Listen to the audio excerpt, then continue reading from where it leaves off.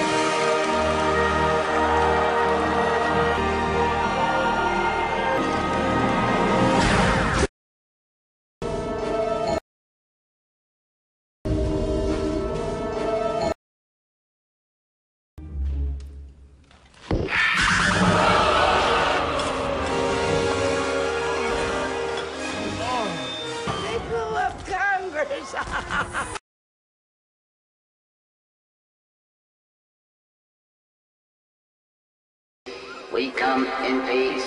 We come in peace. They came in peace.